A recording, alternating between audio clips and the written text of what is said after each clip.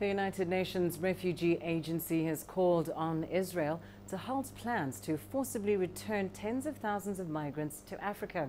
Israel had previously stated that it would pay Africans living illegally in the country to leave, threatening jail terms if they were caught after the end of March. Now, the vast majority of those migrants are from Eritrea and Sudan, and while many say they've fled war and persecution, Israel treats them as economic migrants.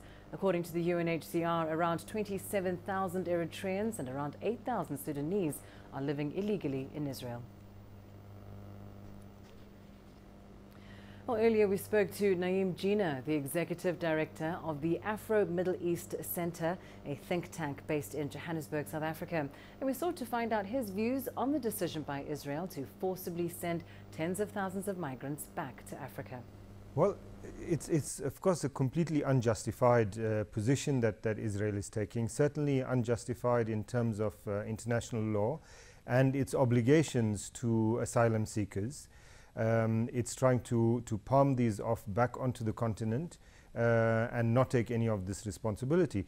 It's also, in a sense, a, a reflection of the more general kind of um, um, ethnic and, and, and, and racial position that the Israeli state takes, certainly towards Palestinians, but also towards others, and particularly uh, we're seeing that, it's, uh, uh that, that it affects quite substantially um, Africans and, and African migrants in particular. So um, up to uh, sometime last year, there were about 60,000 African asylum seekers that had arrived uh, in Israel. Uh, of those, only 500 were actually given asylum status. Um, about uh, 20,000 had been um, sent back over the past uh, months, and now there's about 35,000 that, that are left. Well, it's, it's certainly not justified under international law. Um, what they're trying to say is, is two things. One, that these are not asylum seekers, that they um, so-called economic migrants, which is untrue because um, almost all of these people have been registered by the UNHCR as, as asylum seekers. Um, and, and because they're saying these are economic mi migrants, they then don't have an obligation uh, to them and they will ship them off. Um, but the, the kind of um, part of the reason uh, around this you see coming out in the terminology that is being used as well about these African migrants, um, which is terminology that is not used, for example, about European migrants, referring to them as infiltrators, etc. But more than that, that uh, shipping them off to, to or deporting them to third countries is not as, uh, as simple as it sounds. So um, uh, what we've seen with the other 20,000 that have similarly been sent off, uh, most of them to Uganda, but many of them also to Rwanda, that both of these receiving states get paid uh, per head that they receive. But uh, Israel prepares a set of documents for each of them and, and uh, makes it seem like it's, uh, it's a legal deportation. Once these people arrive in their receiving states, they have no documentation. They end up actually being illegal in these countries.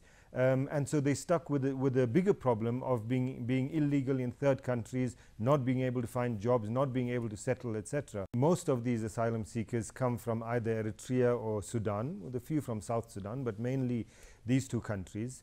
Um, they have escaped um, you know, serious problems in both of these countries. Most of the Sudanese are from Darfur, where there's been a kind of civil war going on for many years now. Um, both of these countries are not unhappy about um, these what they would regard as, as problematic people from their countries um, going off somewhere else. So the fact that they get dumped uh, in Rwanda or Uganda doesn't doesn't faze them in the least. If they happen to, and some of them do, um, then from either Uganda or Rwanda find their way back home, um, illegally of course because as I say they don't have documentation um, it's also not such a big deal for, for these countries. So I don't think that, that you're going to see any problems being created uh, between uh, Uganda and Rwanda on the, on the one hand and the home countries of, of these on the other hand.